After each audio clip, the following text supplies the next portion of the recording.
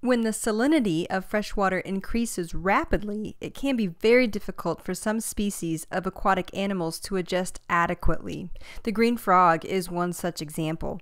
Because it is well adapted to life in water that has a very low salinity, it reabsorbs as much salt as is possible while simultaneously secreting copious amounts of water by producing dilute urine.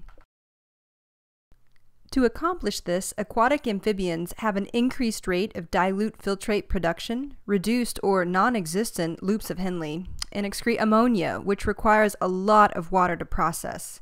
In addition, the osmolality of aquatic amphibians' body fluids is lower than that of other vertebrates.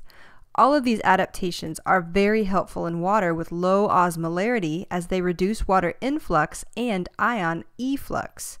But when the salinity levels increase substantially, the mismatch between the environment and these unique adaptations becomes a serious problem.